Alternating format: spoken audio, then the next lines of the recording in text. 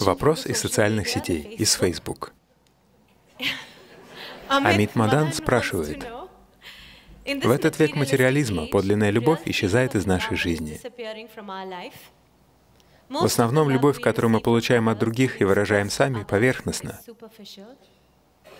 Как мы можем усилить чувство настоящей любви в нашей жизни и жизнях других людей?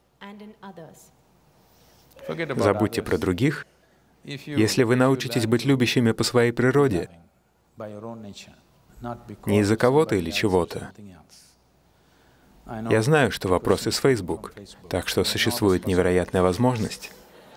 Вы можете любить даже тех, кого не существует. Поэтому я говорю, что есть невероятная возможность. Так что, если вы просто станете любовью, вместо того, чтобы любить кого-то, Тогда вы познаете природу любви. Если вы любите кого-то, то эта любовь изменчива, потому что ни один человек никогда не будет на сто процентов таким, каким вы хотите его видеть. Вас разочарует каждый человек на планете, поверьте мне.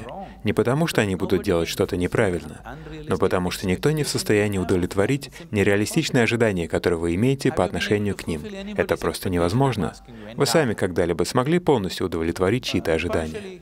Только частично, но никогда на сто процентов, не так ли? Так что и никто другой не сможет это сделать, если только вы не такой безнадежный романтик, что все еще ждете, что откуда-то появится идеальный человек. Нет, поверьте, кто бы ни появился. Я хочу, чтобы вы знали, что идеальные люди, которым вы поклоняетесь, когда Кришна был жив, его жены были постоянно недовольны.